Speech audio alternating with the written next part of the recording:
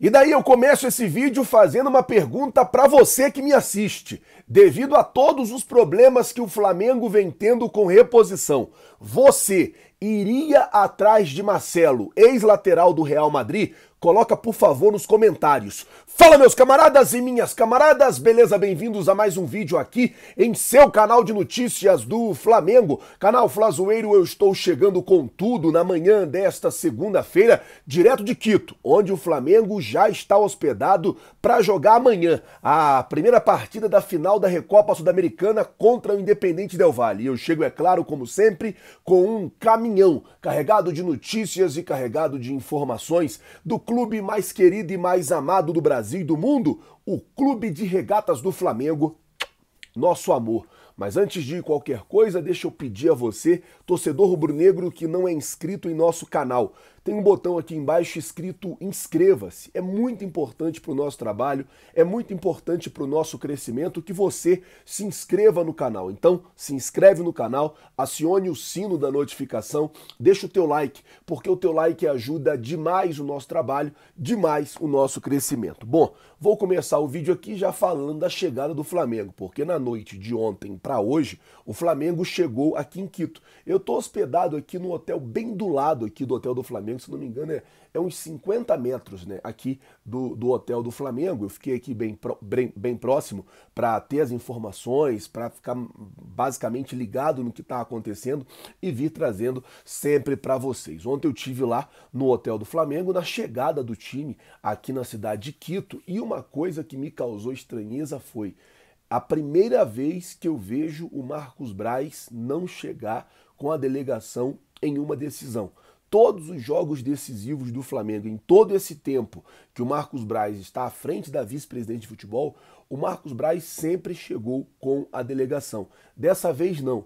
O presidente Rodolfo Landim veio com o time, o gerente de futebol Bruno Spindel veio com o time, né? Mas o vice-presidente de futebol Marcos Braz, ele não veio com a delegação duas coisas podem estar acontecendo. Eu acredito que ele deve estar conversando, deve estar tendo reuniões constantes com empresários para poder resolver a situação de contratação de jogador, ou ele ficou no Rio de Janeiro, sei lá, para tirar uma espécie de mini férias. Eu não acredito na possibilidade de mini férias. Eu acredito muito mais na possibilidade de contratação de reforço. Por quê? O técnico Vitor Pereira está pedindo reforço insistentemente à diretoria do Flamengo.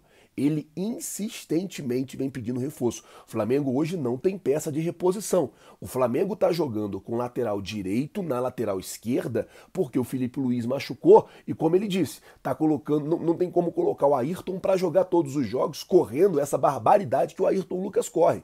Se, se colocar, ele vai estourar. Então, assim, tem que se poupar o Ayrton Lucas, não pode se usar o Felipe Luiz e o Flamengo está sem lateral esquerdo. E daí o Marcos Braz ele não vem para cá e levanta essa dúvida, levanta essa incógnita de o que Marcos Braz estaria fazendo no Rio de Janeiro. Eu acredito que deve ser reuniões, deve ser é, costuras para poder contratar novos reforços, principalmente reforços que são pedidos do técnico Vitor Pereira. Por falar ainda de reforços, ele insiste com o nome do Fausto Vera. Sem contar que o Fausto Vera foi enquanto ele estava na Argentina, ele foi oferecido ao Flamengo a preço de banana e o Flamengo não quis contratar o jogador. Agora, o Flamengo está aí tentando tentando de algum jeito tentar trazer o jogador para cá, mas eu vou falar para vocês, eu falei ontem, eu mantenho a minha posição.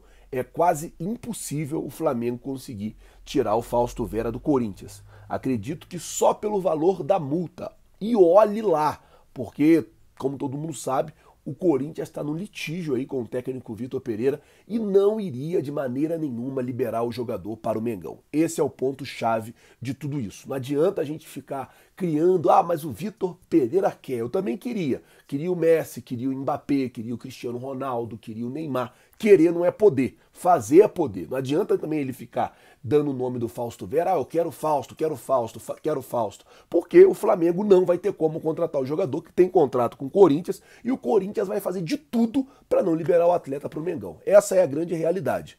É isso, não adianta a gente ficar tentando inventar a, a, a, logística da roda, porque todo mundo já sabe como é que acontecem as coisas. Bom, vamos mudar de assunto aqui, sair de Fausto Vera e ir para Marcelo. Porque essa semana aconteceu uma situação com o Marcelo, ele rescindiu com Olympiacos da Grécia. Ele teve muitos problemas lá com a comissão técnica, problemas com a diretoria, e muitos torcedores, após a rescisão do Marcelo, veio até a mim perguntar: Flazoeiro, tem possibilidade do Flamengo contratar o Marcelo? Seria um bom nome? Jogador, campeão de Champions League, jogou um tempão no Real Madrid. Será que teria como? O que, que você acha e tal? Vou explicar qual é a situação do Marcelo. Eu até conversei com uma pessoa do Flamengo ontem na chegada do time. Eu bati um papo rápido com uma pessoa ligada à diretoria. Falei, mano, e aí? Situação do Marcelo. A pessoa me falou: primeiro problema do Marcelo é a ligação que o jogador tem com o Fluminense. O jogador ele é muito ligado, revelado na base do Fluminense, e isso atrapalharia demais uma negociação entre, entre ele e o Flamengo, muito por conta disso, por conta dessa ligação do jogador com a equipe tricolor. Segundo ponto, a questão do salário do Marcelo, que é muito alto, que chegaria no Flamengo para ser hoje uma terceira opção na lateral esquerda. Ele não chegaria para ser titular. Ele não jogaria ele no lugar do Felipe Luiz ou no lugar do Ayrton Lucas. Ele chegaria para ser uma terceira opção na lateral esquerda. Será que o jogador ia querer, já que ele arrumou problema lá no Olympiacos porque vinha sendo pouco utilizado? Então, assim, a situação é essa, não é uma, uma negociação fácil. E outra, se o Marcelo viesse para o Flamengo hoje, ele não chegaria jogando. Ele está com uma lesão e, inclusive, utiliza das, das, das dependências do Real Madrid para poder tratar essa lesão. Então, o jogador está lesionado, o jogador tem ligação com o Fluminense, o jogador tem um salário alto e o jogador também provavelmente não aceitaria vir para o Flamengo para ser a terceira opção. Mas eu comecei o vídeo com essa pergunta e eu mantenho ela para vocês. Você, se fosse a diretoria do Flamengo e iria em cima do Marcelo, tentaria a contratação do jogador? O que, que você faria? Coloca aqui nos comentários, quero saber a opinião de vocês. É muito importante para o nosso canal. Bom, vamos mudar o assunto aqui, falar agora sobre a logística e a programação do Flamengo, porque o Flamengo chega aqui em Quito ontem com quase 10 desfalques. Tem o Gerson, que para mim é o principal dos desfalques, o Marinho, o, o goleiro Hugo, Vitor Hugo, Daniel Cabral, Bruno Henrique. Tem mais gente no departamento médico aqui que eu preciso lembrar. É, são quase 10 desfalques que o Flamengo tem aí para esse jogo de amanhã. Vale lembrar também que o Flamengo é, não perde para o Independente Del Valle aqui desde o último jogo. A última partida, o Flamengo tomou uma cepoada de 5. Jogo pela Libertadores da América. Na época o técnico ainda era o Domi. A gente perdeu de 5 a 0 para eles. Por quê? Porque é um time traiçoeiro. É um time que utiliza da altitude para poder pressionar os adversários. É óbvio que na altitude você cansa mais rápido. É óbvio que na, na altitude o seu desgaste físico ele é muito maior. Então, assim, eles se utilizam disso. Então o Flamengo tem que estar ligado, tem que estar muito bem montado e muito bem treinado. O técnico Vitor Pereira vai dar um treino hoje, 4 horas da tarde no horário daqui, 6 horas da tarde no horário de Brasília. Agora aqui são 6 horas da manhã.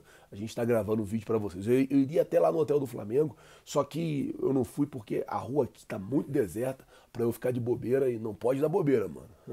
Então eu falei, vou gravar aqui no hotel mesmo para manter a galera bem informada. Bom, então a ideia do técnico Vitor Pereira é nesse treino de hoje os jogadores se adaptarem o máximo com a questão da altitude.